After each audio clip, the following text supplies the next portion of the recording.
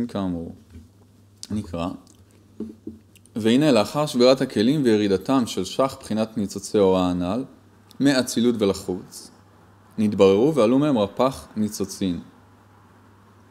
דהיינו, לאחר שבירת הכלים, באו לברר ולתקן בחזרה את, ה... את מה שאפשר. אז מה ביררו ותיקנו? את הרפ"ח ניצוצין. דהיינו, כל מה שירד מתשע ספירות הראשונות, שבעשר ספירות דניקודים. וט' פעמים ל"ב הוא רפ"ח בחינות. והמה שבו ונתחברו לבניין מערכת הקדושה. ונמצא, נשאר לסטרא אחרא, רק ל"ב בחינות, ממה שירד מהמלכות לעולם הניקודים. והיה זה לתחילת בניין הסטרא אחרא במיעוט התכלית, שעדיין איננה ראויה לתפקידה. למה? כי לא היה לה את הרפ"ח ניצוצים. ומלוא בניינה נגמר להם אחר כך, בסיבת חטאו של אדם הראשון בעץ הדעת. כמו שכתוב בעזרת השם.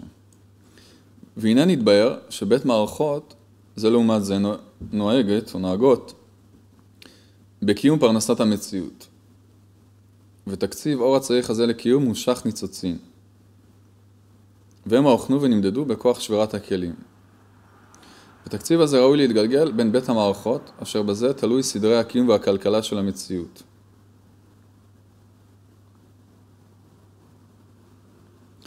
ותדע שמערכת הקדושה מחויבת להכיל לכל הפחות תקציב של רפ"ח ניצוצין להשלמת ט' ספירות ראשונות שלה, כנ"ל. ואז יכולה לקיים ולכלכל מציאות התחתונים, וזה היה לה קודם חטאו של אדם הראשון. ועל כן היה כל המציאות מתנהגת אז על ידי מערכת הקדושה, להיות שהיה לה מילו של רפ"ח ניצוצין כאמור. אז כמו אמר פה יפה, זאת אומרת, לפני חטא אדם הראשון, לקדושה היה את כל הרפ"ח ניצוצין. אמנם לא היה לה גם ה, את הל"ב, אבל, אבל היה, היה לה את מלוא הרפ"ח.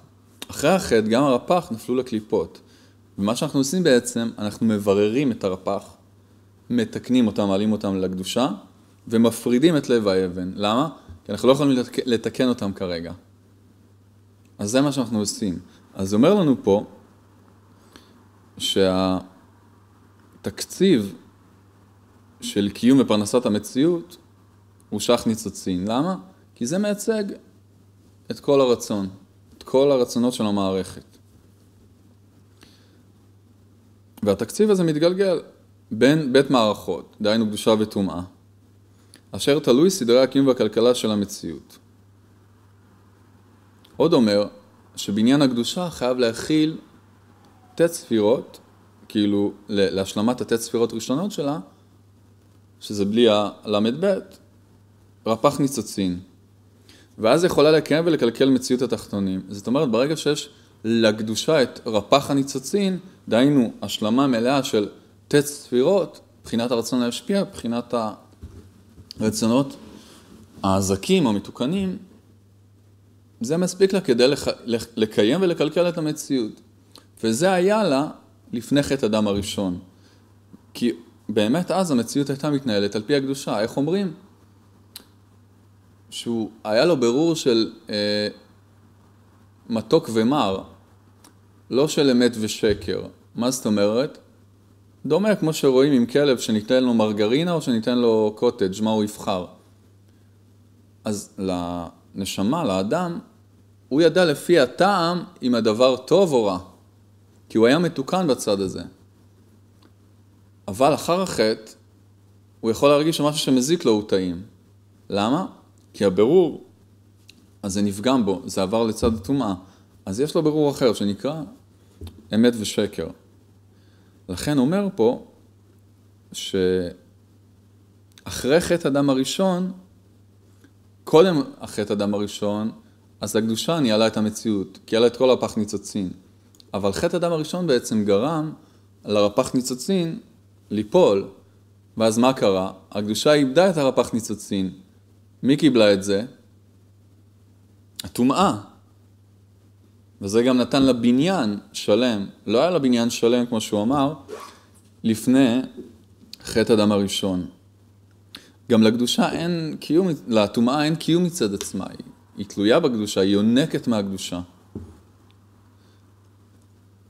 לכן נהיה פה משהו שזה גם מה שדיברנו לפני, שיש את בית ההפכים המדהימים במציאות, קיום המציאות ושכלול המציאות. הוויית קיום המציאות וכלכלת והנהגת המציאות. שמצד אחד רואים מציאות מושלמת, מופלאה, מדויקת, מדהימה, מבנה הגלקסיות, התת-אטומים, הטבע, גוף האדם, כל המבנה של המציאות, כל הסינכרון בטבע בין הבריות, כל הפוטוסינתזה, כל דברים מדהימים, דברים מטורפים.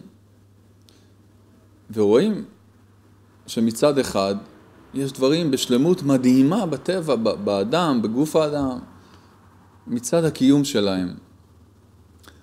אבל מצד שני, יש מלחמות, יש מגפות, יש מחלות. מצד אחד, זה שאני רוצה לאהוב, אני מרגיש את הרצון הזה חזק ומאוד גדול, אבל להחזיק באהבה ולשמור עליה ולחיות אותה, יש לי שם בלגן גדול. למה? כי כלכלת המציאות אחרי חטא הדם הראשון ניתנה לקליפות.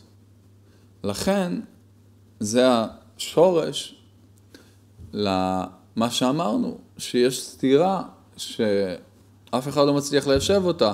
הפילוסופים דנו בזה והתפלפלו בזה הרבה ולא הגיעו לידי הבנה. לכן היה את הריבוי עלילות כדי לנסות לתרץ את זה. כי מצד אחד רואים מציאות שלמה הכי מדהימה ומדויקת שיש. מצד שני, טוב ובוהו, כאוס, רע, מגפות. אז ניסו לתרץ את זה, הסבירו, יש בורא טוב ויש בורא רע. כל, כל מיני תורות, כל מיני... אה, עבודות אלילים גם, וכן הלאה, על דרך זה. ניסו לתרץ את זה. אחד בורא טוב, אחד רע. אחרי זה אמרו, אה, אולי אין בורא בכלל, למה? כי לא הגיוני שמישהו חכם יעשה חלק טוב וחלק רע, וכולי וכולי. אבל אומר, לא, באמת תשובה אין להם עדיין. אבל הוא אומר, התשובה מאוד פשוטה. מכיוון שאחרי חטא הדם הראשון, אה, הנהגת המציאות, או נקרא לזה, כלכלת המציאות ניתנה לקליפות. ולכן יש כאוס ותוהו ובוהו במציאות. אז מה צריך לעשות? להחזיר את כלכלת המציאות לקדושה. איך עושים את זה? על ידי ברורים. מה זה ברורים? ברורי ניצוצות. אנחנו מתקנים ומתארים את הרצונות שלנו, מעלים אותם בחזרה לאצילות, בחזרה לקדושה, ואז אנחנו נותנים את הכוח בחזרה לקדושה. וברגע שיש כוח לקדושה, ממילא השפע מתפשט. כמו שבן אדם חולה, ברגע שהוא מנקה את עצמו מהלכלוך, מהרעלים, שזה הרפ"ח ניצוצין אגב, לא, לא באמת, זה סימן, אבל כמו ב, מבחינה ביולוגית, החוקים דומים הרי. מה גורם לאדם את רוב המחלות ורוב הבעיות? רעילות. מה זה רעילות? פסולת. כל מה שהגוף לא יכול לקבל אותו. זה נהפך לפסולת. אם אכלתי יותר מדי, הגוף אין לו, לא יכול לייצר מזה אנרגיה, אין לו מה לעשות עם האנרגיה הזאת. אז הופך את זה לפסולת. חלק הוא אוגר, ואז אני משמין וכל ההשלכות של זה. משהו לא מצליח לאגור, הופך לפסולת ויוצא החוצה. אבל גם אם אני אוכל הכי בריא, אני אף פעם לא יכול לעכל את זה בצורה מושלמת. תמיד יהיה פסולת, גם בנשימה. עכשיו, אני מדבר במשלים, כי זה רק סימן. לא מדובר על, על זה, מדובר על מערכת של רצונות רוחניים, אבל גם כשאני נושם עכשיו, אני מוציא פחמן דו-חמצני, אני לא יכול, אומנם הצמחים שמייצגים את ההשפעה, הם לוקחים את הפחמן דו-חמצני ומחזירים לי אותו למדרגה והופכים לי אותו לחמצן, כדי שאני אעשה את הסירקולציה של התיקון, אבל באופן רגיל עכשיו נשמתי, אני לא יכול לה... אני לא, אני לא מכיל את כל החמצן, יש בזה פסולת. האוויר, יש בו פסולת. בכל דבר יש פסולת. מה השורש לזה? העניין הזה של הקליפות. לכן, למה גם האדם מת? בגלל הקליפות, בגלל חטא הדם הראשון. ברגע שהרעילות או הקליפה, וזה בטבע של הגוף קורה, זה טבוע בו, זה נקרא זוהמת הנחש. תאורטית, אם גוף האדם לא היה מייצר פסולת, האיברים לא היו נחלשים, והוא היה יכול לחיות הרבה יותר. אולי לעתיד לבוא, הם לא יוכלו לשפר את זה בצורה מלאה, אבל יכול להיות שאולי לעתיד לבוא, אה, אם הרפואה תתפתח, ויגיעו למצב שהגוף לא מייצר רעילות, אז נוכל לחיות הרבה יותר שנים. גם תאכל בריא, גם כבר באופן טבעי לא תייצר רעילות, תגיע עד גיל 100. רואים, אנשים אוכלים בריא, אוכלים אה, אוכל עם, נקרא לזה, נשמה, שמחובר לטבע, בלי הרבה פסולת. המצב שלהם הרבה יותר טוב. אבל כל זה גשמיות, זה לא עוזר לנו. מה זה הרעילות הרוחנית? הגאווה והנוחיות. לכן בכל רצון יש לי את הגאווה והנוחיות, ויש לי את הרצון דקדושה בתוכו. אבל זה מעורבב לי. למה מעורבב לי? שבירת הכלים. הכל התערבב. אז מה אני צריך לעשות? להפריד את המוץ מהתבן, להפריד את הקליפה מהקדושה. ואז אני לוקח את הקדושה, זה כמו הזהב, שאני מוציא את הסיגים, ואז לוקח את הזהב. וזה נקרא עבודת הבירורים. אני צריך להבין שאני לא יכול לתקן הכל. וזה השורש גם לטומאה גדולה, שמנסים לתקן הכל. אני צריך לדעת מה אני לא יכול לקבל, ואני שם בצד, ואני כן יכול לקבל.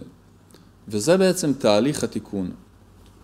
לכן, כלכלת המציאות ניתנה לקליפות, וזה השורש לכל הכאוס בעולם. אנחנו צריכים להחזיר את השליטה לקדושה. עכשיו, זה לא שבאמת הקליפה שולטת, זאת אומרת, מצד התפיסה של האדם בעולם הזה, מצד האמת, הקדושה ודאי שולטת. אצילות לא נפגם, אבל בתפיסה שלנו, במקום האימון, במקום העבודה, כן, הקליפה לכאורה שולטת, אבל זה אשליה, היא לא באמת שולטת. הקליפה היא שומרת על הפרי, היא שליחה, היא עובדת אצל הקדושה, כמו המשל היפה של הזוהר עם האישה המנאפת, שמפתה כדי לבדוק את הנאמנות של הבן למלך או לאבא. אז אותו דבר פה, הטומאה עושה את העבודה שלה. כמו, נחזור עוד פעם למשל, חיידקים, חרקים. מה הם עושים? מפרקים את הפסולת שאדם לא יכול לפרק. יש פה חיידקים במעיים נגיד, מה הם עושים עכשיו? אכלתי משהו, אני לא מברר את הכל. אז מי מברר לי את זה? חיידקים. למה? אחרת הייתי מת, הרעילות לא הייתה יוצאת ממני.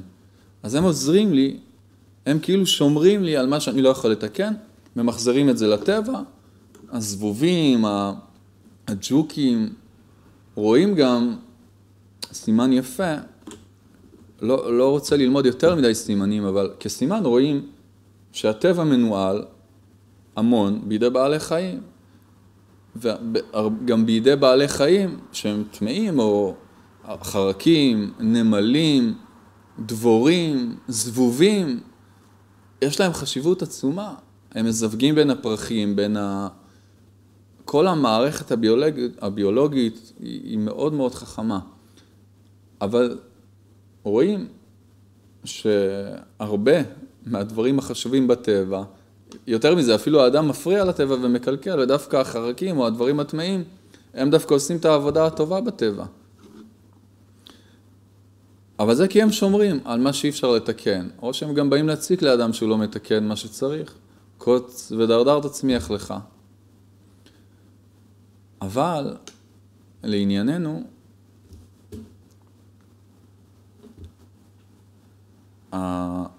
הנהגת המציאות היא בקליפה, ולכן יש כאוס ובלגן וזה.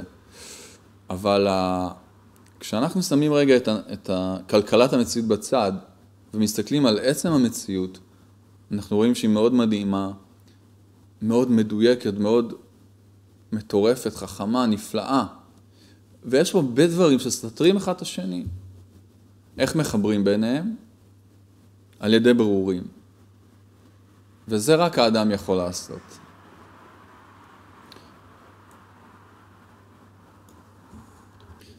אז לסיכום, נסכם את מה שלמדנו היום.